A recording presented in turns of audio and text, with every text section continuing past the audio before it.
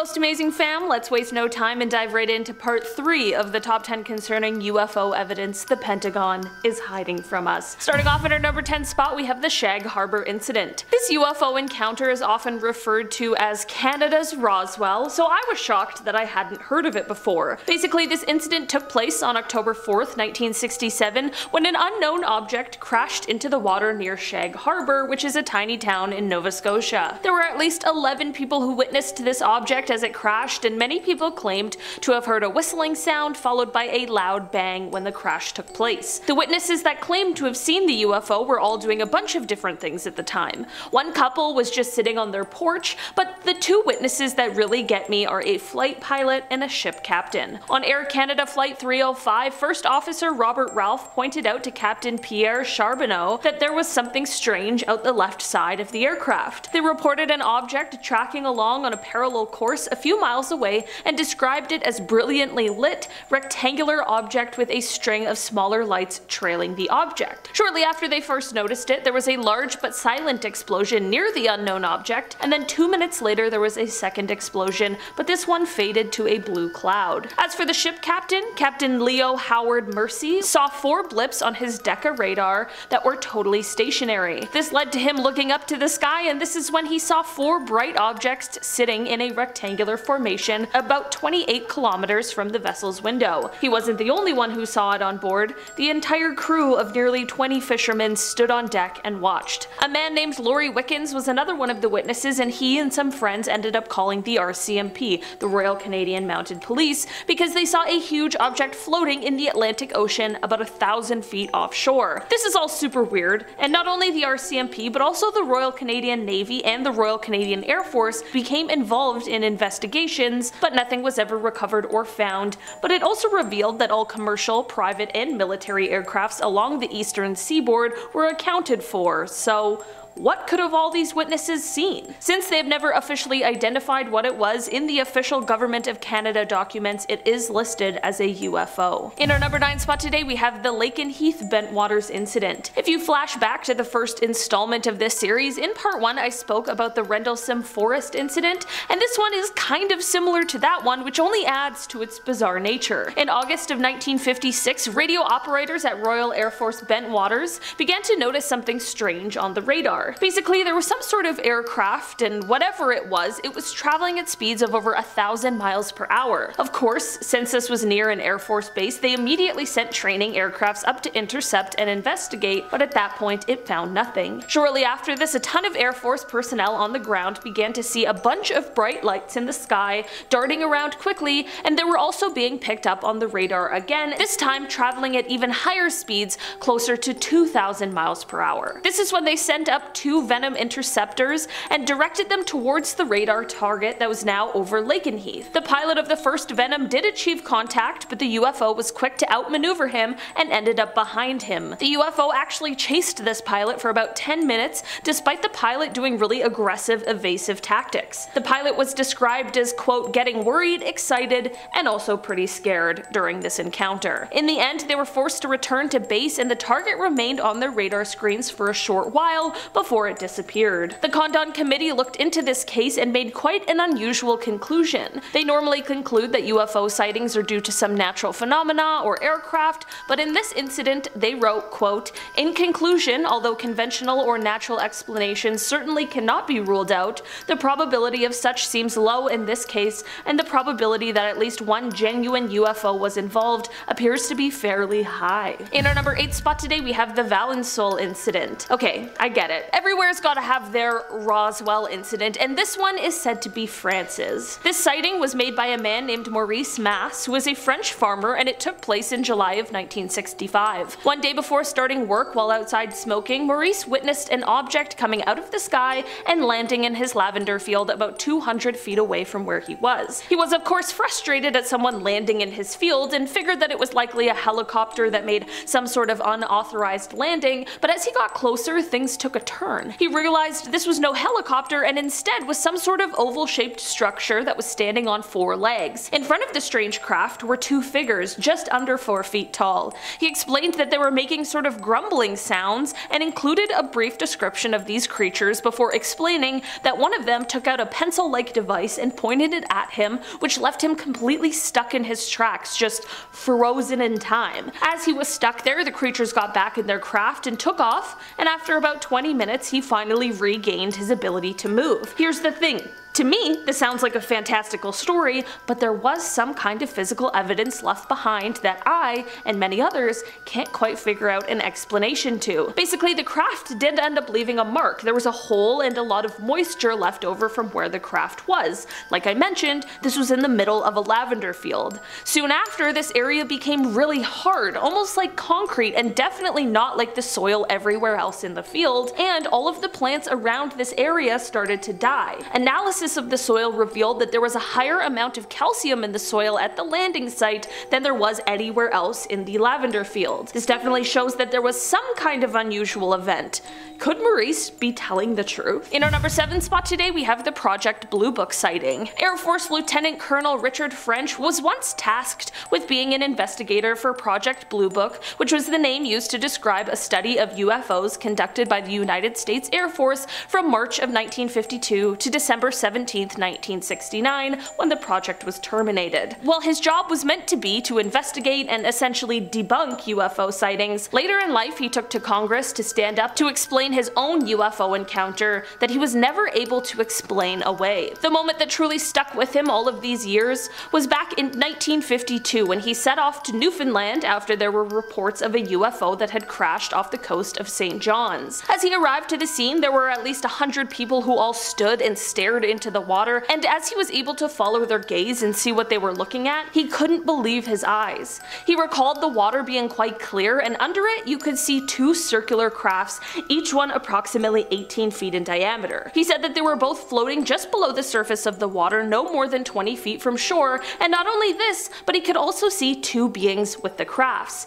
He said, quote, the first thing I saw was the UFOs, and it was apparent to me that they were doing something to the craft, and I couldn't really tell what because they were on the bottom side of it and not visible to me, except when they would occasionally get over to the side where I could see them. He claims he watched on as the beings worked on the craft until one of them raised out of the water and disappeared, but not before accelerating to speeds in the neighborhood of 2,500 to 3,000 miles an hour. In our number 6 spot today we have the classified report. We aren't even a full month into 2023, but already there are some crazy announcements including one regarding a report that was delivered to Congress from the Director of National Intelligence. Basically, since August of last year, there has been a total of 510 unidentified aerial phenomena observed in protected airspace or near sensitive facilities. According to the report, 26 of them were described as drones, 163 were labeled as balloons or balloon-like entities, and 6 were described as clutter, whatever that means. This is all fine and well, but the concern sets in when we consider that this leaves 171 sightings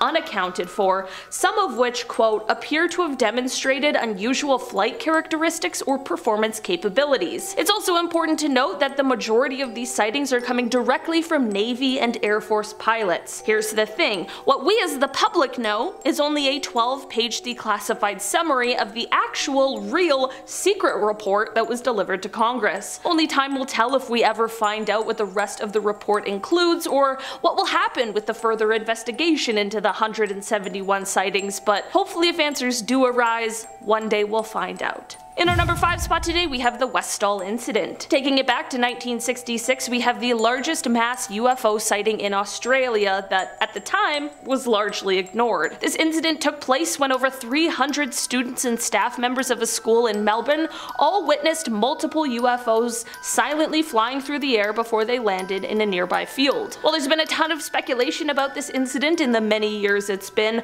one witness account stands out among the rest and that is the account made by the science science teacher from the school, Andrew Greenwood. He was alerted to the UFO event by a hysterical student, and when he went outside to see for himself, everything changed. Previously a skeptic of UFO stories, Andrew's mind was abruptly changed when he saw, as he described it, a round silver object about the size of a car with a metal rod sticking up in the air. He went on to explain that suddenly five planes came and surrounded the object, all while more people were gathering to watch. He called what happened next the most amazing flying he had ever seen, explaining that quote, every time they got too close to the object, it would slowly accelerate, then rapidly accelerate, and then move away from them and stop. They would take off after it again and the same thing would happen. This went on for about 20 minutes before the mysterious object just vanished. As weird as this all was, what was almost weirder was what happened next. Firstly, the headmaster of the school is said to have tried to put a stop to anyone talking about the incident at all, threatening severe punishment to any student or staff who was caught speaking about it. And when the Royal Australian Air Force contacted him, he refused to talk to them about it at all. There have also been stories of witnesses getting visits from people warning them not to speak of the incident. Andrew explained, quote, when he asked the physical education teacher to describe what she had seen herself so that he could compare it with his own observation, she just wouldn't say anything. Another witness who did talk to Andrew and described what she had seen in great detail, just 30 minutes later refused to speak to him and wouldn't say a word. Was this because of the threats from the headmaster, or was something else going on here? This is definitely a strange UFO story that leaves behind a lot of questions. In our number 4 spot today we have Flight 1628. Back on November 17, 1986, Japan Airlines cargo flight 1628 was flying from Paris to an airport near Tokyo when they had a very strange UFO encounter. On the part of the flight where they were over Alaska around 1711,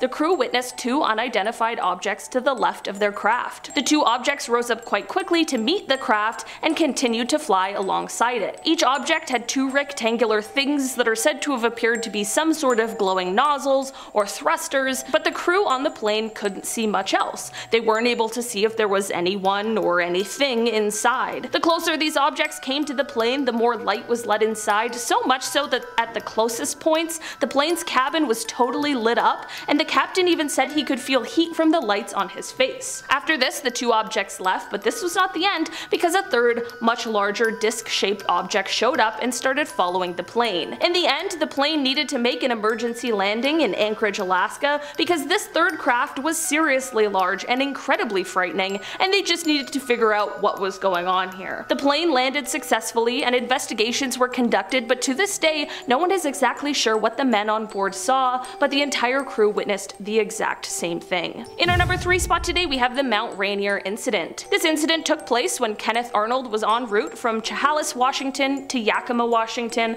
on June 24, 1947. Kenneth was traveling in a privately owned plane when he suddenly saw a bright flash on his wing. He looked around and this is when he saw a chain of nine unidentified flying objects approaching Mount Rainier. He explained that he quote, could see their outline quite plainly against the snow as they approached the mountain. He continued on saying, quote, they flew very close to the mountain tops, directly south to southeast down the hog's back of the range, flying like geese in a diagonal chain-like line, as if they were linked together. From here he explained that quote, they were approximately 20 or 25 miles away and I couldn't see a tail on them. I watched for about 3 minutes, a chain of saucer-like things at least 5 miles long swerving in and out of high mountain peaks. They were flat like a pie pan and so shiny they reflected the sun like a mirror. He also told investigators that he had never seen anything travel that fast in his life. Unfortunately, Kenneth's story was met with disbelief and a bit of ridicule. This made Kenneth quite resentful, but he said, quote, They can call me Einstein, Flash Gordon, or just a screwball, but I am absolutely certain of what I saw. He added that if he ever again saw phenomena in the sky, even if it were a 10-story building flying through the air, he would not say a word about it. In our number 2 spot today, we have the Broadhaven UFO sighting. This UFO sighting took place back in 1977, and it all started when an entire class of children all claimed to see some sort of object flying through the sky. The children rightfully were confused and excited over what they have seen, but of course the teachers and adults around them believed it was just their wild imaginations making things up. This is when they decided to split all of the children up and have them draw whatever it is that they saw. While there of course were variations in all of the children's drawings, they all basically drew the exact same thing, which begs the question, did they really all see this thing? The children children weren't the only ones who saw it either. Shortly after their sighting, other local residents began to explain that they had seen something strange flying through the air, including one hotel owner. One of the things that really gets people about this case and these sightings in particular is that all of these people claim to have seen something at that time, and even though it's been almost half a century, not a single one of them has ever said it was a hoax or that they were lying about what they saw. They all have the same story they did the day it happened. Finally, in our number one spot today, we have Betty and Barney Hill. The Betty and Barney Hill case is definitely one of the most famous UFO abduction stories ever told, and it absolutely has some pretty compelling components. Basically, the story goes that the two were driving on a road in New Hampshire one night on the way home from a trip the pair had taken. Before they got in the car on their way home, they were at a diner and figured that if they really pushed through, they could beat the wind and rains from an approaching hurricane. It was 10 p.m. when they left the diner and they figured by around 2 a.m., 3 a.m. latest, they'd arrive home. As they drove, out of nowhere a bright light started to follow them. Suddenly, they arrived home and it's somehow daylight now, their clothes are dirty and ripped and their watches had stopped working. This is all jarring enough, but neither Betty nor Barney could figure out what had happened. They were both missing time. Later, during a session with a psychiatrist, they were able to recall being touched by aliens during their abduction. Project Blue Book would come to investigate their claims, and while people remain skeptical, no one has ever been able to debunk their story. This officially went on to become the first ever widely publicized abduction story, and to this day people still debate what really happened to the Hills. Alright guys, that has been our list for today. Thanks so much for checking it out. I've been your host today, Olivia Kosolofski, and I'll see you again soon. Bye!